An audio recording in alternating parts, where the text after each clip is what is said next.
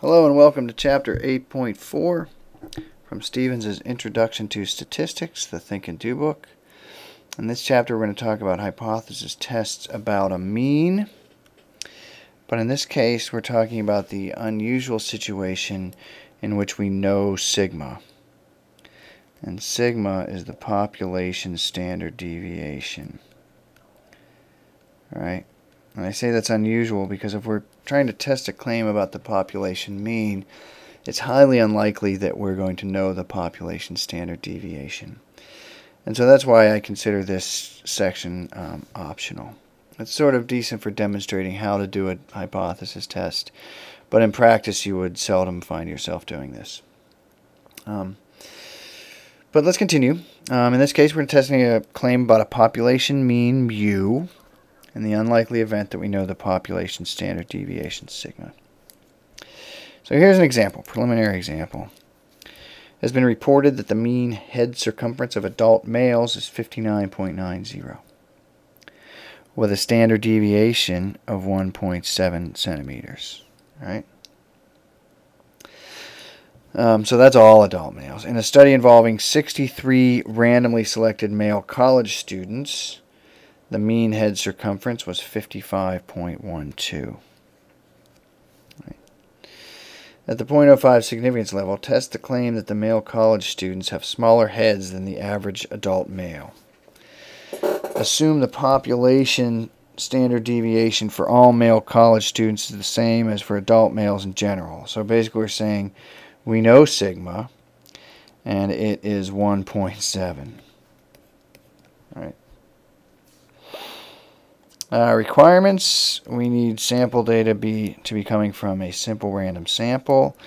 We need to know sigma, and we need either n to be 30 or the population is known to be normally distributed, um, again, or both, just in case that's not implied there. Uh, the test statistic is right here. It's just the number of standard deviations from the sample distribution of the mean, that the sample mean is above or below the, the population mean. Um, so what this has, x bar is the sample mean right there.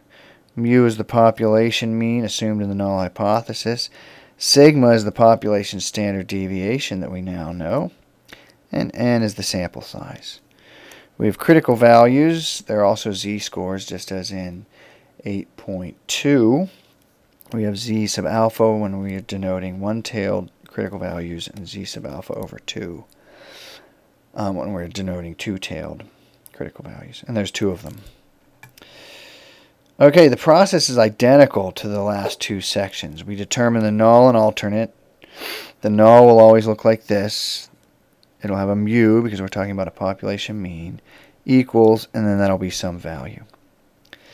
Alternate, you'll have a, you can have a left tail test, two tail test, sorry, left tail test, right tail test, two tail test. Right. Calculate the test statistic using equation 8.4 above. And then again, in this case, we actually can do both of these because getting p-values from the z-table is, is um, quite easy. So the critical value method, we reject the null hypothesis if the test statistic is in the rejection region. Or we reject the null hypothesis if the p-value is smaller than the significance level, right? That alpha is the significance level. And then we're going to make an understandable conclusion. All right, so back to our first example. It has been reported about the head circumference of adult males. So that's the 55.9, all right? And we have um, with standard deviation 1.7. We have a sample of size 63 male college students. Their mean head circumference from the sample is 55.12. At the 0.05 significance level, test the claim that the male college students have smaller heads than the average adult male. And assume the population standard deviation for all male college students is the same for adult males. So what we're saying is sigma is known and it equals 1.7. So we're claiming here that the mean head circumference of all male college students, that should be male, not mall, is less than the circumference for males in general, the 55.12. Right? The null hypothesis gets the equal sign. The alternate supports the claim because it can while remaining different from the null. All right. So you have our claim, null, alternate. The test statistic comes from this formula. The sample mean is 55.12. Right? That's from our sample mean randomly selected male college students. The mean head circumference was 55.12. The mean from the null hypothesis comes from right there. Right. The population standard deviation, which is assumed to be 1.7, divided by the square root of n. When you do that, you get a test statistic, z sub x bar equal to negative 3.64. That's pretty extreme, so we're looking pretty good for our claim. Um, so let's, what do we do about the null hypothesis? Do we reject or fail to reject? First, doing the critical value method, we need to put 0.05 in the left tail, or you can use the small table below it, so we'll just do that. 0.05 left tail test. Well, let me go full screen. 0.05 left tail test. Let's see what we got.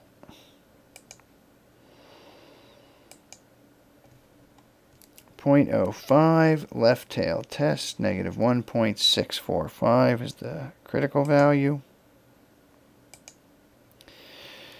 Critical value negative 1.645, so that determines my rejection region.